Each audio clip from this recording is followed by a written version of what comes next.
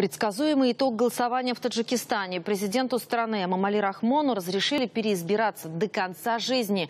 Почти 95% проголосовавших на референдуме граждан Таджикистана поддержали такие поправки в Конституцию. Окончательные итоги будут известны ближе к вечеру, однако уже ясно, что это решение останется неизменным.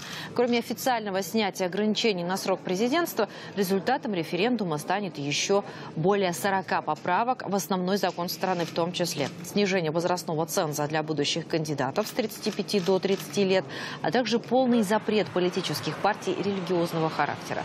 Имамали Рахмон возглавляет Таджикистан с 1994 года. При нем срок президентских полномочий увеличился с 4 до 7 лет, а реформа 2003 года, запрещающая больше двух сроков, вновь обнулила его срок. Три года назад Рахмон был вновь переизбран. Как раз после этих выборов и появилось предложение сделать срок его полномочий неограниченным. mention them